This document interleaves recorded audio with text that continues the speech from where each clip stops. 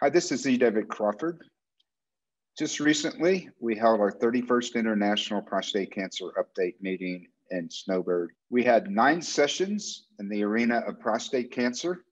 I'm going to start by reviewing the first session. My colleagues at the meeting will review the remainder of the eight sessions. So let's go ahead and begin uh, with this.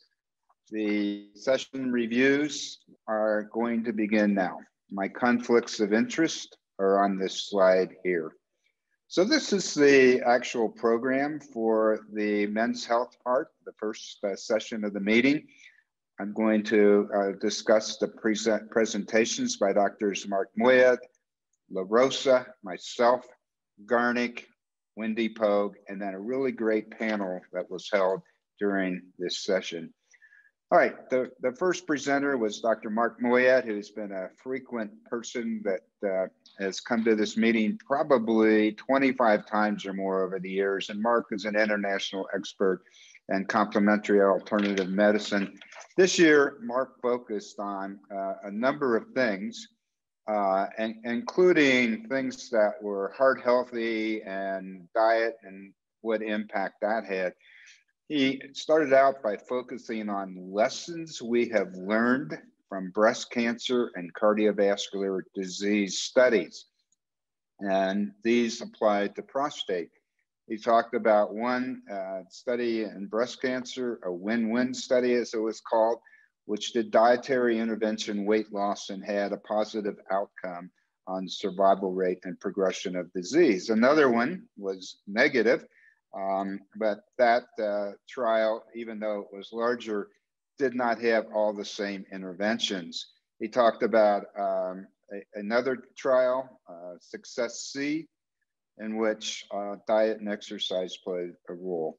So the message and, and, a number of other studies that he discussed during his presentation was that a heart healthy diet is a prostate healthy diet and you can have impact on a number of things. He did talk about some studies that were done.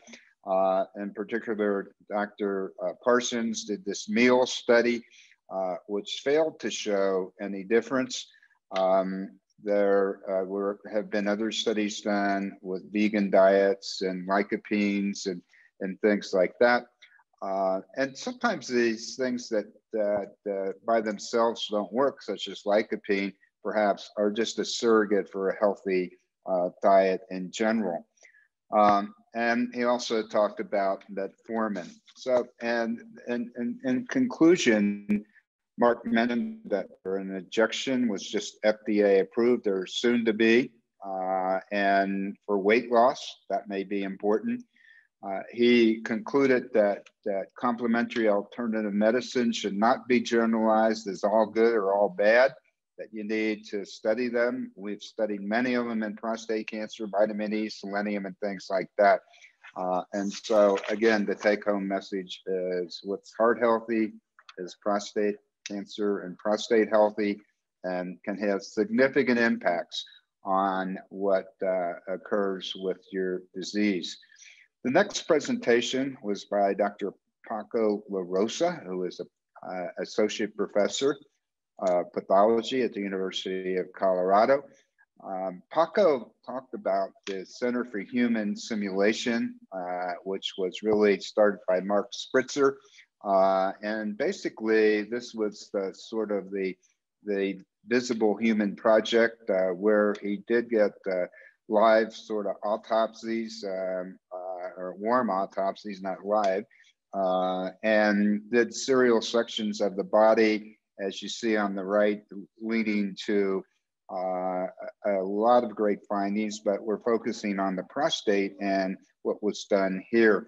Dr. LaRosa carried that on to the work that he did and my colleagues at the university did on 3D reconstruction of the prostate. And he talked about the value of 3D reconstruction of the prostate in determining what the target is for focal therapy. Uh, and you've got to have a, a good shot uh, to, um, in fact, um, and, and, know where you're shooting to, to get rid of the disease. And So it's ready, aim, fire, not ready, fire, aim. And uh, Paco uh, relayed how this, uh, the importance of this. So this is an example of a 3D model that was reconstructed from the needles. As you can see here, the needle tracks that are done. It's usually um, done at five millimeter intervals. The next presentation was one I made on the controversies regarding screening for prostate cancer. And basically, um, the, the summary is that 90% of PSAs are done by family practice doctors, um, and that we confuse them with a lot of different PSA cutoffs, a lot of different tests, and it'd be nice to have a PSA cutoff that's reasonable. We present the data that less than 1.5 is a good cut point and that 70% of men in, in screening will have a PSA of less than 1.5. Of course, that depends on your age group. If you take an older age group, it's going to be uh, higher than that. Why? Because they have more prostate cancer. But in general, if you take men age 45 up to the end of screening, less than 1.5, you have about 70% of them or less that, and these people don't need anything done. Uh, based on our study from the Henry Ford database, uh, less than 0.5% of these people will be diagnosed with prostate cancer in the next uh, five years. However, if your PSA is greater than 1.5, then that's a danger zone. Uh, it doesn't mean you need a biopsy, but uh, it is a danger zone. That means that this could be due to BPH, it could be due to prostate cancer. Consider a referral to a urologist, or in fact, the family practice doctor may do th things like prostate size, AUA symptom score, repeat the prostate or PSA in a few months, um, or in fact, consider a molecular marker. And we discussed the roles of the molecular markers 5, 4K, SelectMDx, and there's a whole host of others. And these, if they're low risk, you're back into routine screening. And if you're high risk, then that can lead to consideration of an MRI biopsy or things like that. So the way forward with screening is we need a simple message for family practice doctors, and we need sort of a simple algorithm on the way forward. There's lots of these out there. Unfortunately, Many of these algorithms are complicated and not easily remembered.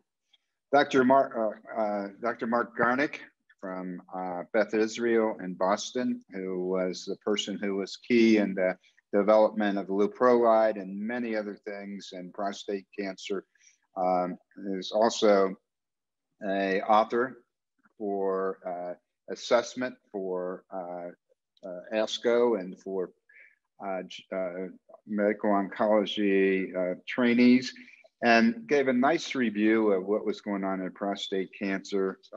And one of the things that, that came out and was presented in Mark's presentation is seen on this slide.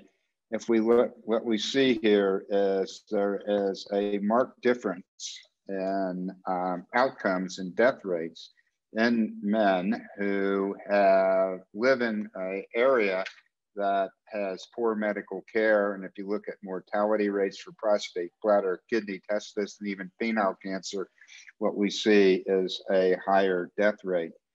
Um, the final thing was an outstanding panel, uh, which was moderated by the president of LUGPA, uh, Dr. Jonathan Henderson from Louisiana. We've been very fortunate at the with the International Prostate Cancer Meeting to have an association with LUGPA for the past four years, and they had a very nice educational panel on the government policies and outcomes.